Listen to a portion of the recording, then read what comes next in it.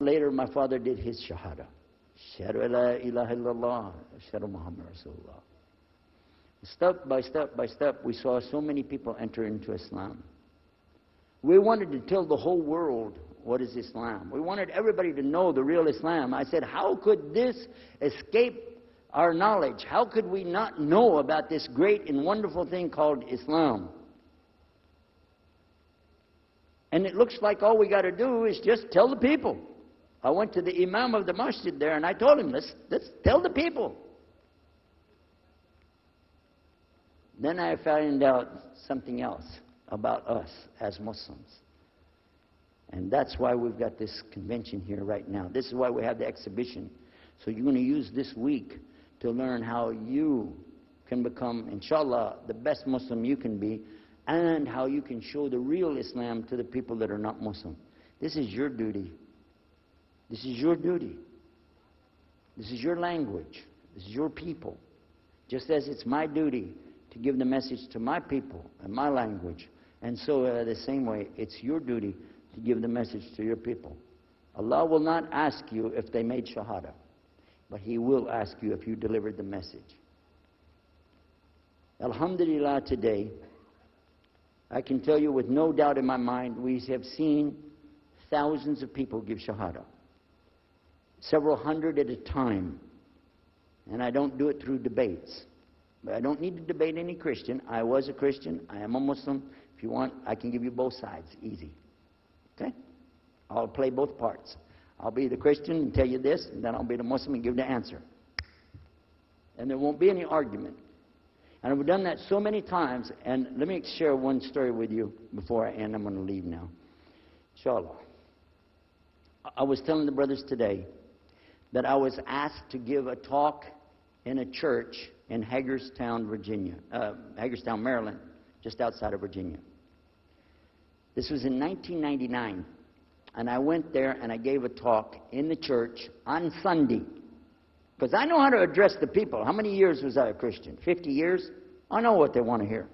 Get them ready, and they said, Oh, wow, this is normal preaching. But then when I came to the part, La ilaha illallah, I stayed on La ilaha illallah until they said, Yes, that makes sense, it makes sense. There was one old lady that she was saying yes. Afterwards, she said, Yes, but I just don't want to do it the way you're telling me. Okay? But guess what else happened? Two people did Shahada right there. Hello? In the church. In front of their preacher.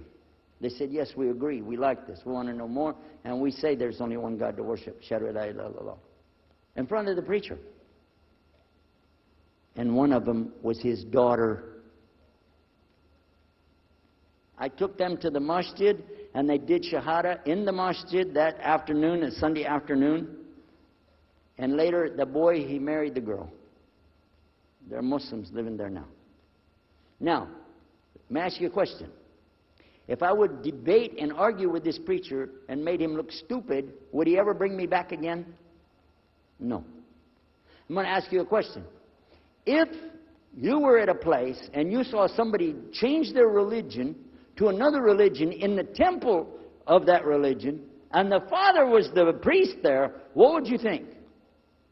Is that man ever going to call me again? Do you think he'd call me again? Three months later, he called me again. Come back again. We really enjoyed it so much. I said, How's your daughter doing? I want to remind him, see what he's going to say. Said, she's doing fine. She likes Islam. It's very nice lovely. She treats us so good. You know, we're amazed at her personality. We love you guys. Could you please come back again? And I did, alhamdulillah.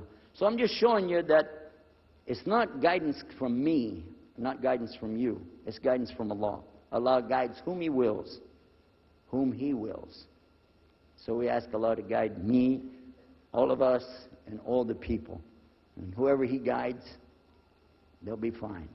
But whoever Allah doesn't guide, they got a problem, serious problem. Our job here with this exhibition of peace, vision of Islam, is to do one thing communicate the true message. If the people don't want it, that's your choice. That's their choice. You don't have to take it. But it's our responsibility in putting this on, all the scholars that are here, it's their responsibility to tell us what's the truth in Islam and let us see for ourselves. And that's what we're going to try to do through this week. So I need you guys to listen to me. You have to participate. Your side of it. Your side of it is to show up every day. And your side of it is to bring other people. I want you to look at all that blue plastic. Look at the blue plastic back there. You see that blue plastic? The next time we come up here, I don't want to see blue plastic. And that means I don't want you to steal the chairs tonight, okay? I want you to go get some people and fill up those chairs so they can hear this message before it's too late. Because if that man from Cairo, Egypt, had not taken the time to spend three months of working slowly, carefully, nurturing myself, my wife, my father, my daughters. They also became Muslim, by the way. I forgot to mention that part. And a priest. Look at what Allah gave him. And from all the people that we gave Shahada, this man in Egypt is taking the reward for that, even now. Even now. I'm not saying you'll give a Yusuf Estes the Shahada, but I'm saying Allah will give you the reward according to what you're trying to do. Please don't leave this place tonight and forget what you heard here. Please carry this with you.